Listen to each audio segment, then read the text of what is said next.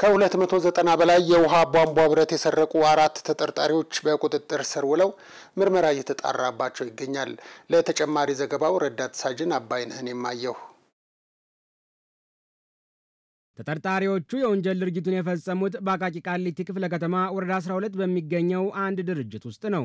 ኢሳሎ ጎራ አካባቢ ፖሊስ ጣቢያ ወንጀል መርማሪ ዋና ሳጅን መንበሩ ባይሞት ከተጠርጣሪዎቹ መካከልም የድርጅቱ የጥበቃ ሰራተኞች እንደሚገኙ አስታውሰው ንብረቱን በተሽከርካሪ ይዘው ከተሰወሩ በኋላ ፖሊስ ጥቆማ ይደርሰዋል። ጥቆማውን መሰረት በማድረግ ፖሊስ ባደረገው ጥረት ከተሰረቀው 297 የውሃ ቧንቧ ውስጥ 783 ሺህ ብር የሚገመት 261 የውሃ ቧንቧ ብረት ከአራት ተጠርጣሪዎች ጋር በቁጥጥር ስር በመዋል ምርመራ እያጣራን እንገኛለን ብለዋል። በድርጅት ውስጥ ተከማችቶ የሚገኝ ብዛት ወደ 297 የሚሆን የውሃ ቧንቧ ብረት ተጭኖ በተሽከርካሪ የተወሰደና ምርመራችንን እያጣራን ስንሄድ አየር ጤና ኪዳነ ብረት ቤተ ክርስቲያን ጀርባ ገዛኝ የሚባል መጋዘን ውስጥ ተዛ ተጭኖ ወደ ልደታ ክፍለ ከተማ 05 በርበሬ በረንዳ አካባቢ ተነጋግረው ሊሸጡት ሲሉ በወንጀል መከላከል አባሎች የተያዘ ሲሆንና አሁንም ያልተያዙ አሉ። እነሱን እያጣራን እንገኛለን።